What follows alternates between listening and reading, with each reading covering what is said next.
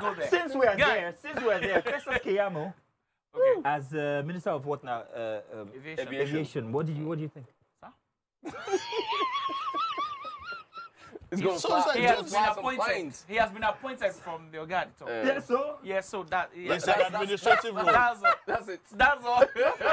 That's all. No, Wow, so, so you know, so we you just know. accept it. Oh, we, but we're so gonna the thing is it. this, uh, okay, so on a serious can note, fly a on a plane. serious He note, can he now? so on a serious note, right? One of the things I've learned over the years about uh, politicking in Nigeria and especially uh, ministerial appointments in Nigeria is oftentimes they're not.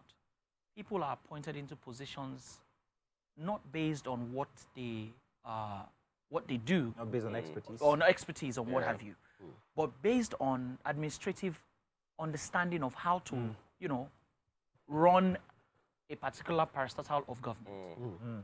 So it's simply So governance. it's basically having the right people who know what is supposed to be done, How to and having, how to- you know, how to delegate, and having the person, you know, actively understanding what exactly it is that is needed to be done. Done, yeah. okay. So Right? he so, can delegate. He yes. gets the people who So it doesn't about it doesn't necessarily what have to be done. have the experience of aviation to be able Yeah. to, you know, direct the activities Mm, of aviation.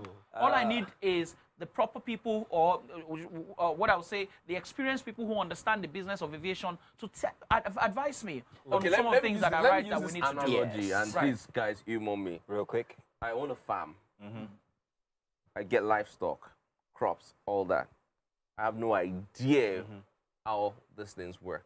Then I go to gang and I say, gang, you're a farmer, right? Mm. Just come take over. That's what he's saying. Yeah, I know. Please, when things really go bad and you need to step in administratively, Many will argue. you would not know what to Many do. will argue that the reason why corruption persists is because of this analogy you've just given. Yeah. You don't know the ins and outs, but this guy knows how he's going to pull a hood over your Exactly my eyes. thank So when things are going wrong, Thank you. You know, you are there. It's that somebody simple. in charge now. This guy is there. I say, collecting gang, back, gang, you know, gang, where are my crops? counting back shots, you know, and everything.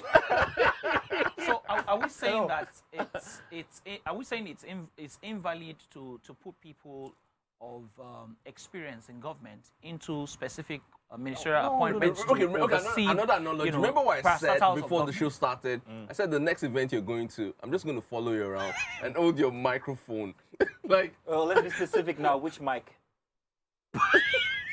You guys. But guys, but what? You guys. Do you know what's going on? I'd like to take this opportunity. the microphone. oh my gosh. I'd like to take a, this a opportunity. proper, PA a proper system. microphone.